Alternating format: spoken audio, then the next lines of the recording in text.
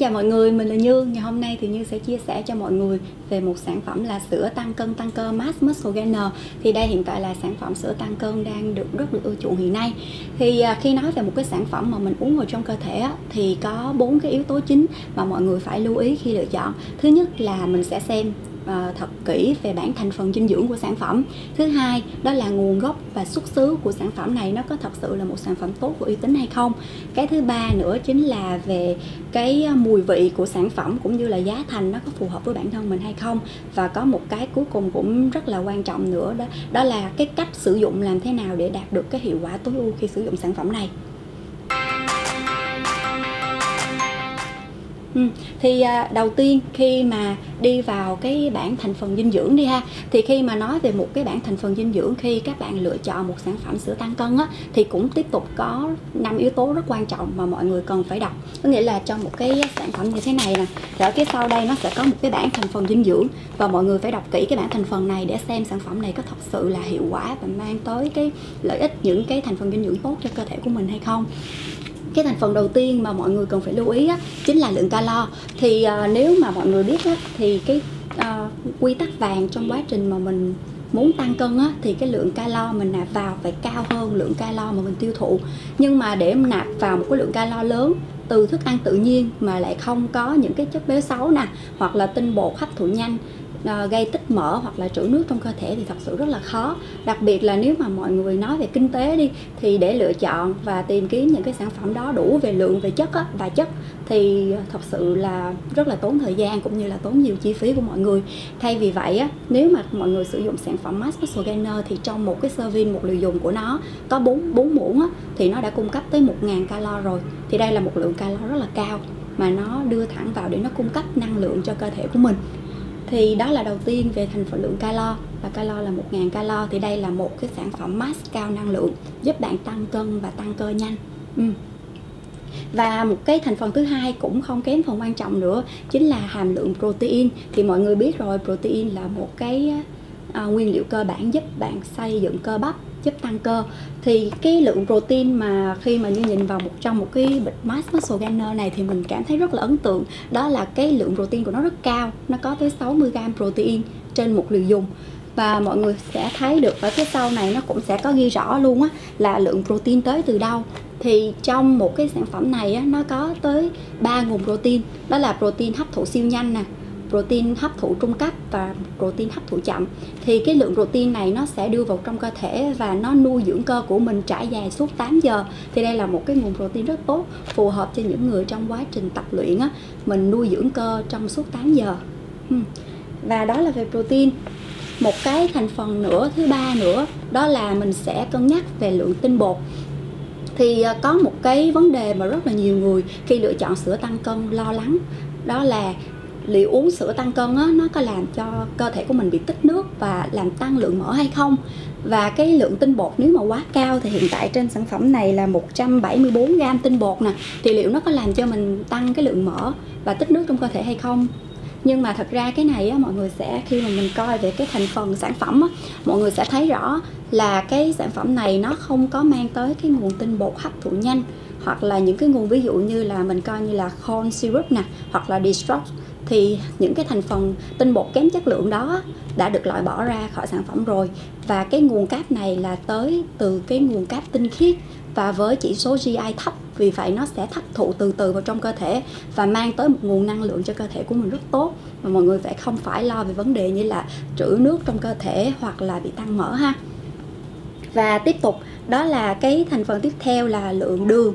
Thì lượng đường ở đây thì một serving nó mang tới cho mọi người là 7 gram đường. Đường ở đây mọi người cũng không cần phải lo lắng, bởi vì nguồn đường mà Mass Muscle Gainer mang tới cho bạn á, là đây là đường fructose. Thì đây là một loại đường đơn từ chiết xuất từ trái cây. Nó cũng có chỉ số GI thấp, vì vậy nó cũng sẽ không làm tăng lượng mỡ trong cơ thể của mình đâu. Nên mọi người có thể yên tâm về vấn đề này ha. Ok và một cái thành phần cuối cùng mà mọi người cũng cần phải lưu ý á, chính là cái hàm lượng những cái chất dinh dưỡng khác. Thì trong sản phẩm Max Muscle Gainer này nó có 5 gram BCA và 5 gram creatine. Nó sẽ hỗ trợ tăng sức bền và sức mạnh trong quá trình mình tập luyện. Thôi thay vì thông thường mọi người phải bổ sung whey protein riêng nè BCA riêng rồi creatine riêng nữa thì cái loại, trong một sản phẩm mass muscle gainer này thôi, nó đã cung cấp cả ba cái thành phần này rồi. Cho nên thật sự là trong một cái sản phẩm mass muscle gainer này, như thấy nó rất là ưu việt. Bởi vì nó mang tới hầu như là hàm lượng dinh dưỡng hoàn thiện luôn á, để trong quá trình mình tập luyện, mình có thể sử dụng rất là hiệu quả thì cái thành phần, ngoài thành phần dinh dưỡng ở trên rất là ấn tượng rồi á, thì cái sản phẩm này nó còn mang tới cho mình, một cung cấp cho cơ thể của mình 18 loại vitamin và khoáng chất thiết yếu. Thì mọi người hình dung á, có rất là nhiều bạn gầy á, mà ăn rất là nhiều nhưng mà vẫn không thể nào tăng cân được. Đó là bởi vì cơ thể của mình bị thiếu vitamin và khoáng chất. Vì vậy khi mình nạp thức ăn vào trong cơ thể thì nó không có khả năng hấp thu được dinh dưỡng. Đó là lý do vì sao mà khi trong sản phẩm mask này nó còn bổ sung loại vitamin cho cơ thể của bạn nữa thì sẽ giúp bạn tăng cái khả năng hấp thụ dinh dưỡng nhờ vậy mà mình có thể tăng cân và tăng cơ nạc mà vẫn có một sức khỏe rất là tốt Ok, thì nói về cái bảng thành phần dinh dưỡng thì mọi người đã thấy là thành phần dinh dưỡng của Mass Muscle Gainer thật sự là một bảng thành phần dinh dưỡng rất là ấn tượng rồi đúng không nào? Thì cái yếu tố thứ hai mà lúc nãy như có nói là cũng rất quan trọng đó chính là khi mình lựa chọn một sản phẩm đưa vào cơ thể của mình á, thì mình phải xem là nguồn gốc xuất xứ của sản phẩm này như thế nào nó có uy tín hay không. Thì cái thương hiệu Elite Lab đây là một thương hiệu uy tín của Mỹ và nó đã có lịch sử hơn 20 năm trong ngành thực phẩm thể thao những cái thực phẩm bổ sung thể thao trong cơ thể rồi. Và sản phẩm Mass Muscle Gainer là một trong những sản phẩm bán chạy nhất của thương hiệu này. Vì vậy, nên mọi người có thể hoàn toàn yên tâm để trao cái sức khỏe của mình khi mà mình lựa chọn sản phẩm này cũng đưa vào trong cơ thể của mình ha. Và một cái yếu tố thứ ba mà rất là nhiều người quan tâm nữa chính là làm thế nào để mình uống mask cho thật sự hiệu quả mà nó không làm tăng mỡ tích mỡ trong cơ thể của mình. Thì uh, thông thường á rất là nhiều bạn khi sử dụng mask á, mình sẽ sử dụng một lần một liều dùng hai muỗng. À, nhưng mà thực ra nếu mà đưa một cái liều dùng hai muỗng như vậy á, ví dụ như đây 1000 calo đi, một liều dùng hai muỗng là tới 500 calo, mình nạp một lượng calo vào cơ thể quá nhiều trong một lần mà sau đó mình không có hoạt động ngay á, thì nó dễ gây tích mỡ. Vì vậy cách tốt nhất và hiệu quả nhất khi sử dụng sản phẩm mask thì bạn nên chia nhỏ liều dùng ra. Ví dụ như sản phẩm mask muscle gainer này có 4 mũ trên một liều dùng thì mình có thể chia ra làm 4 lần uống.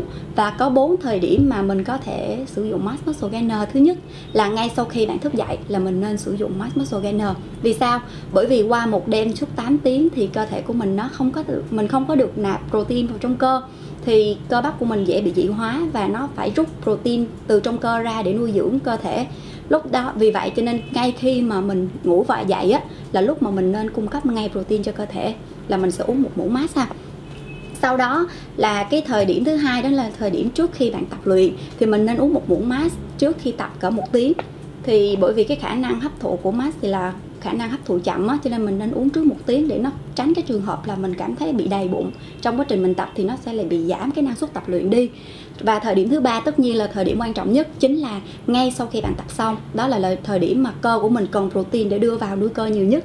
Và thời điểm cuối cùng đó là bạn có thể uống một muỗng trước khi ngủ 30 phút, hoặc là mình có thể dùng một muỗng đó để mình thay cho một bữa ăn phụ hàng ngày. Bởi vì mọi người hình dung là cái nguồn dinh dưỡng mà Mass Muscle Gainer mang lại là rất cao và nó hoàn toàn có thể thay thế cho một bữa ăn phụ hoàn chỉnh trong ngày. Thì khi mà mình đã biết được cách sử dụng rồi nè cũng biết là sản phẩm này tốt như thế nào rồi vậy thì về giá thành thì sao? Thì mọi người biết là một sản phẩm như thế này thì nó sẽ có 3 size. Size thứ nhất đây là size nhỏ nhất ha. Có thể là dành cho những bạn mà lần đầu tiên sử dụng mình có thể muốn sử dụng thử thì mình có thể lựa chọn size này. Thì size này là size 5 pound uh, chuyển qua ký là cỡ 2.3 kg thì à, một cái là cái size nhỏ nhất. Size thứ hai là size 10 pound nè là cỡ 4.62 kg.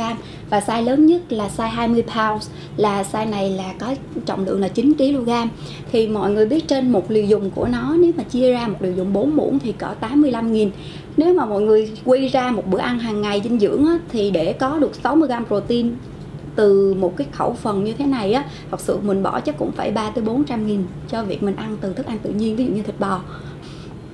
Ờ, thì sau khi đã phân tích giá xong rồi thì có một cái yếu tố rất là quan trọng nữa đó là khi mình sử dụng mask thì ngày nào mình cũng phải uống hết. Nếu mà mình uống hoài một cái mùi vị đi mình sẽ cảm thấy rất là ngán. Đó là do vì sao mà với mask muscle gainer nó có tới 5 mùi vị để bạn dễ dàng lựa chọn. Thứ nhất là vị sô, sô cô la nè thứ hai là vani thứ ba là dâu thứ tư là chuối và cuối cùng là vị bánh kem. Thì với năm mùi vị này á, thì nó sẽ hầu như là đáp ứng được nhu cầu cho cả bạn nam và nữ muốn sử dụng. Đặc biệt là mình có thể thay đổi mùi vị à, để mình không có bị ngán trong quá trình mình sử dụng sản phẩm này. Thì à, đối với kinh nghiệm cá nhân của Như á, nếu mà mọi người muốn uống mà ngon hơn mà mình có thời gian mình có thể pha chung với sinh tố để tăng vừa tăng lượng calo và dinh dưỡng lên mà vừa giúp mình cảm thấy không bị ngán trong quá trình mình sử dụng mass Muscle Gainer.